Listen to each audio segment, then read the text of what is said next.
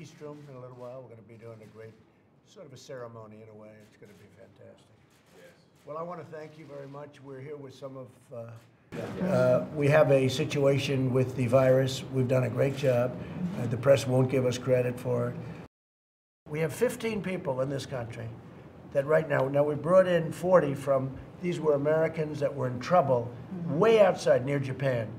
And we brought them in and they're in quarantine and they're getting better. Mm-hmm. That was 40 or 42. We brought them in, which I felt we had to do.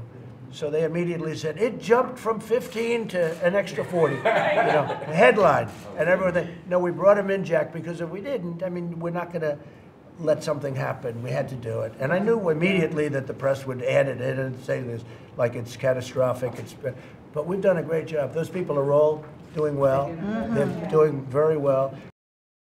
I think it's an incredible achievement that our country's done. And, and one thing I have to pay tribute, we have, whether it's Dr. Fauci, we have the best people on earth. We have the most talented people on earth.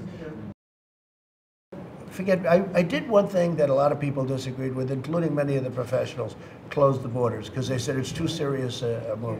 Took tremendous heat, tremendous heat. Was called everything, including David racist. Okay, I was called everything, and for a while I said maybe I shouldn't have done that, and now it turned out to be great because we have so few right. people that have Follow been affected. But- What? Are we headed toward a recession?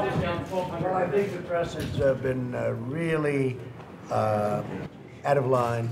And I think they're also very worried that, you know, we're going to be running against somebody and they see these characters up on stage and, you know, anything can happen in an election. And they see these people, and if any of these people ever did happen to assume the presidency, you would have a crash like you've never seen before. That's right. And I think the market's also putting that into the equation.